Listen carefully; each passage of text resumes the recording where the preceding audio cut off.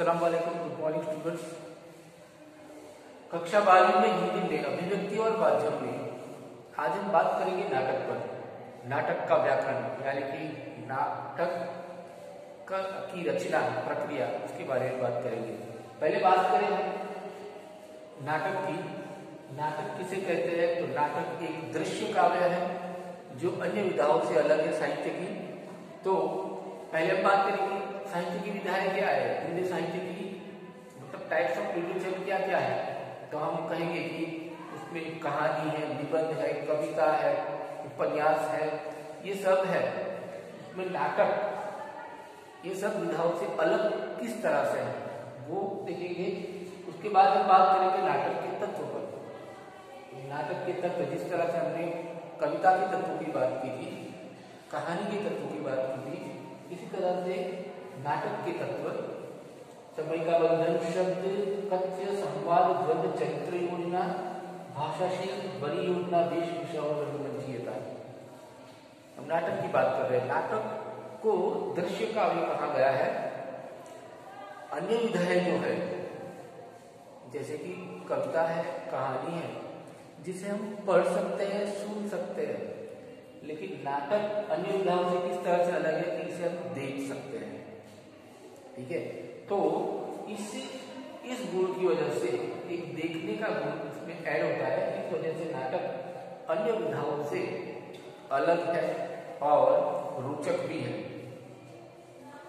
तो नाटक को समझने के लिए जो नाटककार है, उसको ज़रूरी है कि नाटक के तत्वों का ख्याल रखें। नाटक के तत्व का सही तरह से पालन हुआ है तो नाटक उत्कृष्ट कोटि का बनता है। तो नाटक के लिए क्या ज़रूरी है? तो हम नाटक के तत्व की बात करें, समय का बंधन।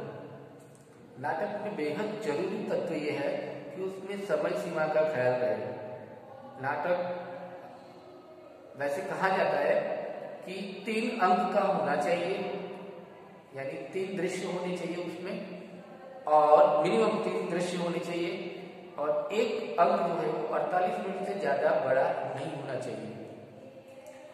समय का हमें इस तरह से पालन रखना होता है कि जो भी पाठक है, जो श्रोता है, जो स्पेक्टेटर्स है, जो व्यूअर्स है, उनकी रुचि कितने समय तक रहती है नाटक देखने की, वो उसका पालन रखना पड़ता है। नाटक का जो भी कथानक है, जो कहानी है उसकी, उसको भी इस तरह से सीमित रखा जाता है। कि इसे देखने वाले कौन होंगे और किस तरह कितना देख सकते हैं। कितना समय नाटक चले तो वो सफल रूप से प्रयुक्त होगा। तो समय का बंधन इसमें बहुत बड़ी चीज़ है। तो पहला तत्व तो नाटक का है समय का बंधन। दूसरी जो विदाएँ हैं, कहानी हो, कविता हो, उसमें कोई समय की सीमा नहीं हो। एक मिनट, दो मिनट, पाँच मिनट या दस, पंद्रह मिनट या एक घंटा, दो घंटा हो सकता है। लेकिन नाटक के लिए समय सीमा ज़रूरी है। दूसरी हम बात करें कि समय को ध्यान रखें क्योंकि कहानी और कविता हम कभी भी पढ़ सकते हैं और उसे आधा छोड़ के बाद में भी पढ़ सकते हैं। लेकिन यहाँ ऐसा नहीं है। यहाँ समय का बंधन है कि निश्चित समय मर्यादा में नाटक को हमें खत्म करना चाहिए। समय का बंधन दूसरा है। शब्द सवाल ये भी होता है कि नाटक में शब्दों का, का क्या महत्व है? तो शब्द बहुत ही अहम है।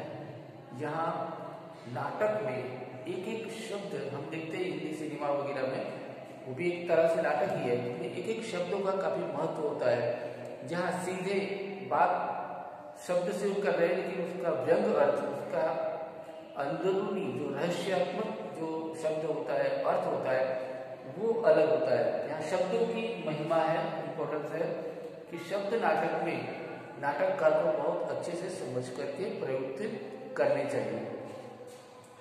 नेक्स्ट कच्चे कच्चे यानी कि नाटक की कहानी, उसका कंटेंट कथा वस्तु वो कच्चे जो है, उसका प्रारंभ मध्य और अंत नाटककार को सही रूप से बनाना चाहिए।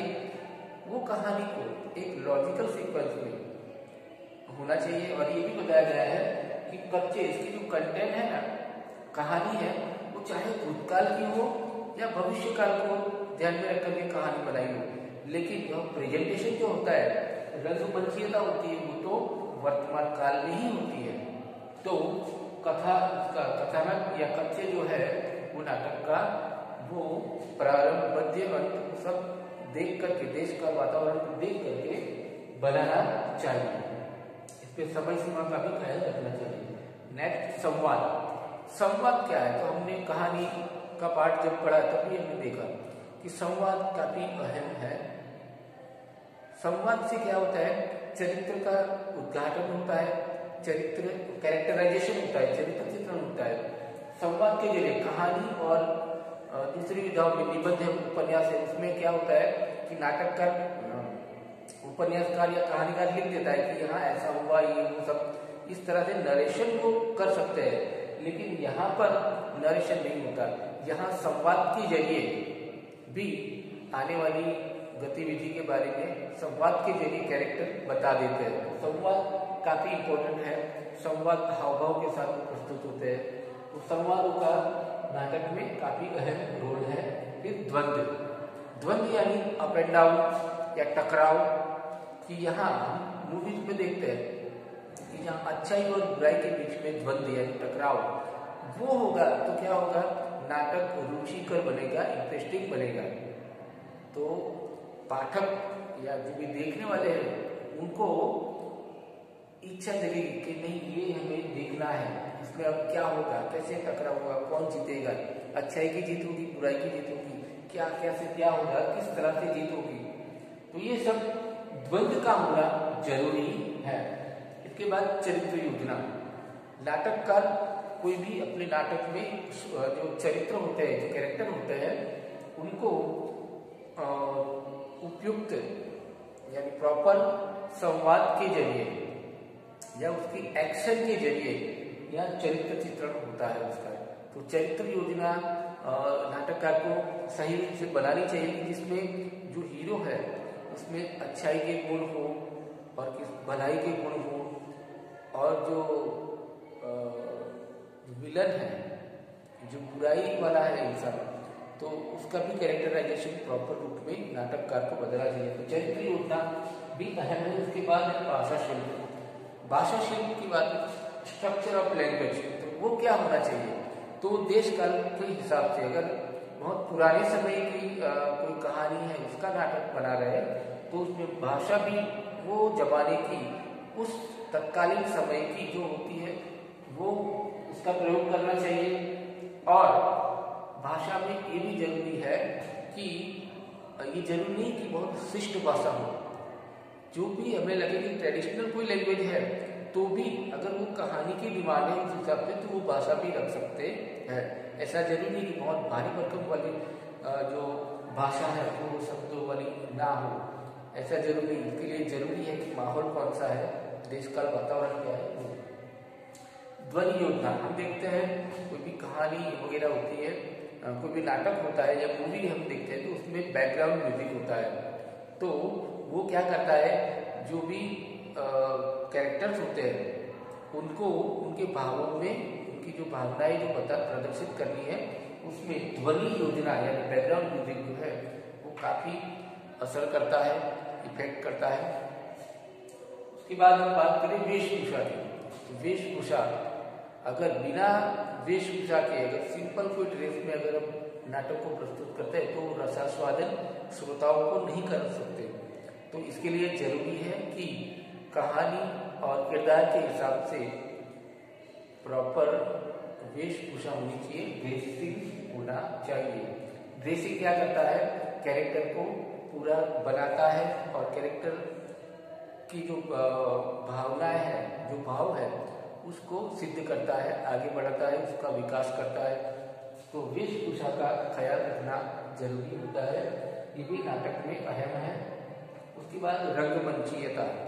रंगमंचीयता मतलब कि अभिनय एक्टिंग चाहे कैसा भी कैरेक्टर हो अच्छा हो, बुरा हो, लेकिन वहाँ पर उसको उसको दिए गए संवाद, उसको दिए गए स्क्रिप्ट के आधार पर अगर रंगमंचीयता होती है, यानी मंचन होता है स्टेज पर तो वो अहम है। क्योंकि अगर एक्टिंग नहीं है सही तो लोग उसे एक्सेप्ट नहीं करेंगे। चाहे कितना भी अच्छा वो अभिनेता हो, अभिनेत्री हो लेकिन नाटक में जो भी उसको अभिनय करना है, जो भी किरदार निभाना है, उसमें उसको गढ़ जाना होता है, उसमें तल्लीन हो जाना होता है। तब जाकर के उस माहौल के हिसाब से, जो कहानी की डिमांड है, उस कथ्य के हिसाब से उसके संवाद और शब्द के आधार पर उसका सही रूप से रंगमंचीयता होनी ज़रूरी है। तो ये तत्व जो है नाटक के लिए बहुत अहम है। परीक्षा में इस तरह के सवाल पूछे जाते हैं कि नाटक में समय का बंधन क्यों क्यों ज़रूरी है? या फिर शब्द की अहमियत क्या है? शब्द का इम्पोर्टेंस क्या है? नाटक में संवाद का इम्पोर्टेंस क्या है? द्वंद का क्या है? या नाटक अन्य विधाओं से अलग किस रूप से है? तो इस तरह के सवाल परीक्षा में पूछे जा सकते हैं। मैं इसके साथ आपको पीडीएफ फ़ाइल भी भेज रहा हूँ। आप ग्रुप में देख लीजिए। और आपसे निवेदन है कि नाटक की पीडीएफ फ़ाइल को पढ़े और समझे। अच्छे से पढ़ाई करें। धन्यवाद।